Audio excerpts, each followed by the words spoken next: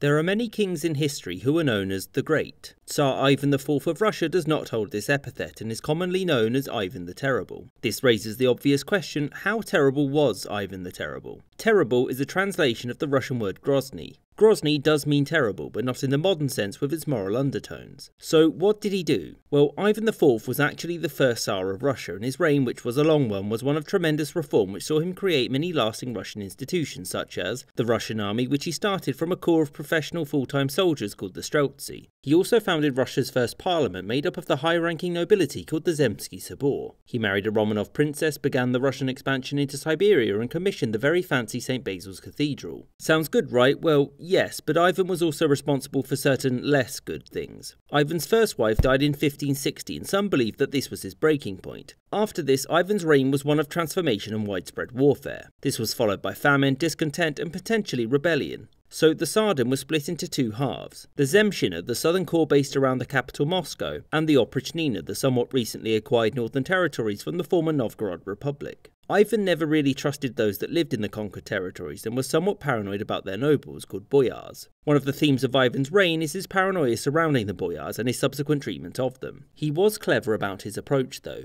In 1564, at the height of his popularity with the people, Ivan abdicated the throne, blaming the boyars and their incessant scheming. The nobles were unhappy with this because legally they couldn't govern without a Tsar, nobody wanted to pick a new one, and also they lived in a city filled with people who hated them. They begged for him to come back, and he did so on one condition. He wanted to be an absolute monarch. They said yes, which in hindsight was a somewhat silly thing to do. He returned and not long afterwards founded the Oprichniki. This was a secret proto-police force whose job it was to deal with traitors and also administer the Oprichnina. Plague and famine struck Russia in the late 1560s and Ivan was worried that the people of Novgorod might rebel. There was only one course of action to win them over and calm things down murder, which he did so by sacking the city. Also, in case you're wondering, the Oprichniki were disbanded in 1572 after it turned out that they were only good at repressing people but terrible at fighting competent enemies. Much of Ivan's efforts hereafter were dedicated to neutering the nobility further and centralising his power. There were limits to how far he was willing to go, so in 1575, again, he abdicated. And it was Simeon, Ivan's close friend, who took up the position as acting ruler. Simeon then, totally of his own free will, decided to seize masses of land from the church before Ivan returned in 1576. Ivan condemned the seizure of these valuable church lands as unchristian, but not enough to give them back, obviously. By the way, during this entire period, Russia was fighting a costly war called the Livonian War against all of these countries. This was because Ivan wanted to incorporate Livonia into Russia. Russia lost.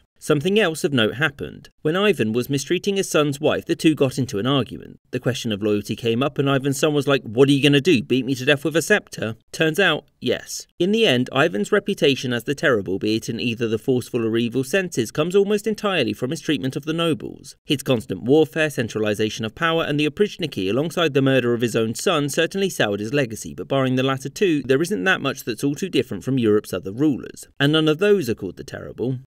I hope you enjoyed this episode and thank you for watching, with extra thanks to my patrons that you see on screen now. And a special thanks to James Bizanet, Azarka Flash, Mark H, Party Boyko, David Archaeologist, Rob Waterhouse, Chris Wicker, Michael Reynolds, Gustav Swan, Onion Duck, David Silverman, Paul, Maggie Paxkowski, Winston Kaywood, Vasily Aravidis, Christian Cheke, Anthony Beckett, Sky Chappelle, Adam Harvey, and Ike.